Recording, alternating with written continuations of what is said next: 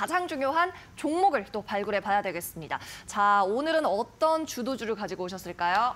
네, 제가 이번에 갖고 온 종목은요.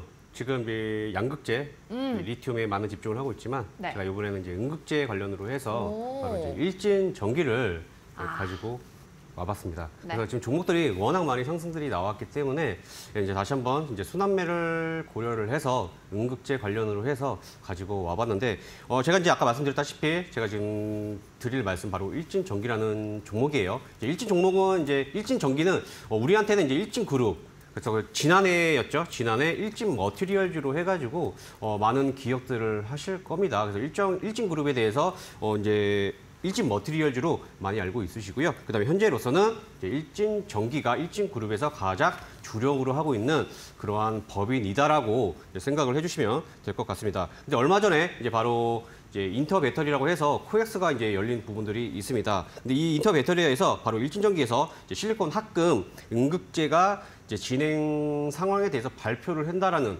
이러한 소식으로 인해서 갑자기 굉장히 이제 주가가 응급제 관련주들이 급등한 그 응급제 관련주가 이제 일제히 급등이 나왔었죠. 그래서 이제 그러한 부분들 때문에 많은 이제 관심을 이제 받았었는데 이제 바로 공시가 떴죠. 실리콘 응급제에 대해서는 진행 사항은 사실이나 아직은 상용화 단계는 아니다라는 이러한 내용들에 대해서 어, 일축을 하는 데 테스나 다시 또 상승이 나왔습니다. 제가 지금 이제 테마술사잖아요.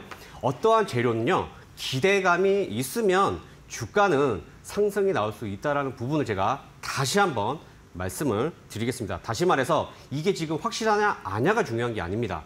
기대감이 있으면 주가는 상승이 충분히 나올 수 있다. 제가 이렇게 말씀을 드릴게요. 그 다음에 양극재가, 그 다음에 양극재 관련주들. 제가 전기차면 뭐였죠? 양극재라고 말씀을 드렸습니다. 왜냐하면 양극재가 바로 이제 원가에 대한 이런 비용이 굉장히 높게 측정이 되어 있기 때문에 양극재를 봐야 된다 말씀을 많이 드렸는데 양극재가 이제 또 주목을 받는 게 바로 이제 배터리의 출력, 그다음에 주행 거리에 대해서 그래서 LFP와 방금 하이니켈에 대한 부분들 이렇게 많이 말씀드려 드렸는데 지금 이제 응급재라고 하면 뭐죠? 응급제는 이제 전기 배터리의 충전 속도입니다. 예, 충전 속도와 수명을 이제 좌우하는 이제 그러한 부분을 담당을 하고 있다라고 보시면 될 것 같습니다. 그래서 응급제는 이제 보통 천연 흑연하고 인조 흑연이 또 나뉘어져 있고 그 다음에 이러한 부분에 대해서 이제 포스코 케미칼이 또 많이 좀 이렇게 알려져 있는 걸로 되어 있는데 여기서 어 제가 이제 저도 이제 배터리에 종사하시는 분들 얘기를 들어보면요 이 흑연이 사실 이제 이게 담는 그릇이라고 생각하시면 됩니다.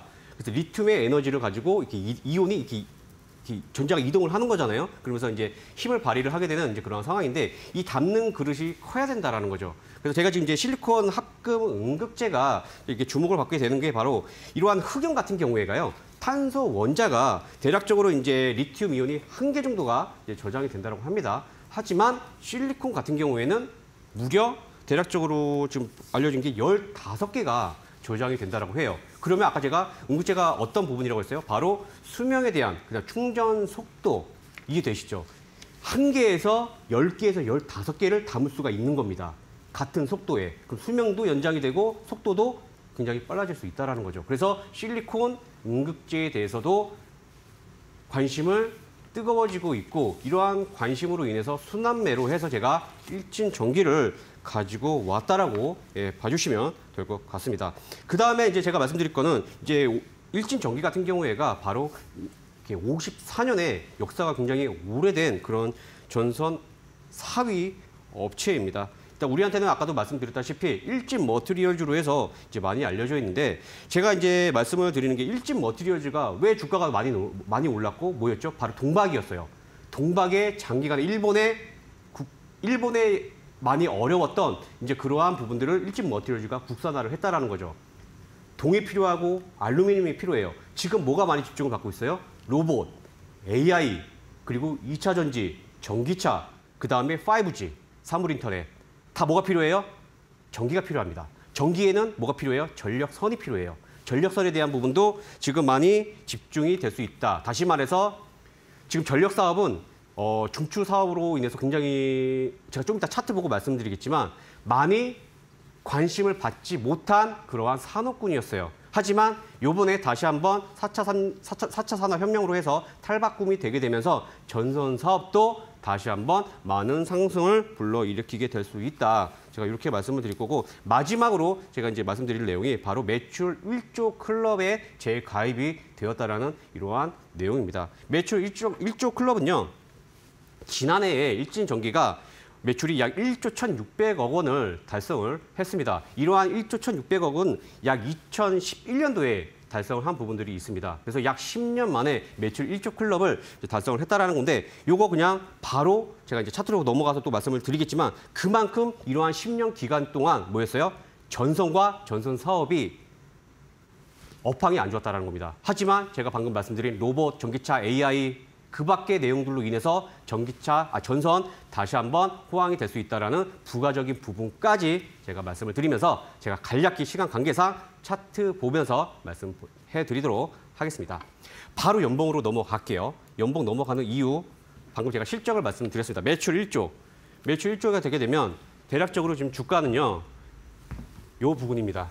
그러면 주가가 지금 대략적으로 12,000원 정도, 11,000원 부근에 위치를 했다라는 거죠. 하지만 아까 말씀드렸다시피 전선 업황이 좋지 못하게 되면서 약 10년이라는 10년이면 강산도 바뀐다라고 하는데 주가는 어떻죠? 상승과 하락이 반복이 되게 되면서 결국엔 추세 하향을 만들다가 요때 일진전기 이때 전력 사업에 대한 부분이 있었고 거래량이 늘었으니까 당연히 도대체 왜 거래량이 늘었을까를 확인을 하셔야 됩니다. 그리고 일진 머티리얼즈에 대한 이러한 내용들도 있었고 그렇게 되면 도대체 기술적 차트적으로 했을 때는 이러한 구간에서 왜 윗꼬리를 달았을까? 그리고 방금 말씀드린 이러한 전력 사업 그 다음에 응급제에 관련한 재료들 상승 그리고 지금 더 에너지가 필요한 그러한 상황이긴 하겠지만 그러한 필요한 에너지 다시 말해서 제가 지금 말씀드리는 거 바닥권일 수 있다라는 부분 상기를 기억을 해 두시고 그 다음에 공략을 하시면 되겠다. 제가 이렇게 말씀을 드리고 또 일봉으로 가서 제가 말씀드릴게요. 일봉으로 보시게 되면요. 실리콘 응급제에 대해서 요때 아까 제가 말씀드린 내용이 여기에 부합이 되고 변동성이 굉장히 커졌습니다. 그러면서 포션 기법에 해당이 됐고요. 그 다음에 제가 아까 말씀드린 거 만약에 벗어나면 어때요?